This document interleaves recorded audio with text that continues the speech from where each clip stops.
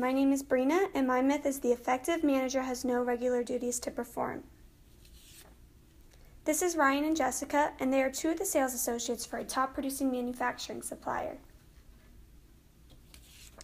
This is Todd, and he is the new manager of the company.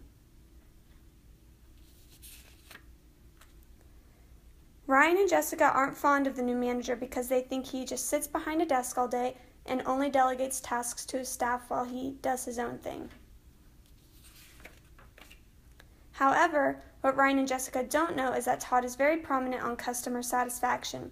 So he is always conversing with his customers who generate the company's income and follows up with them.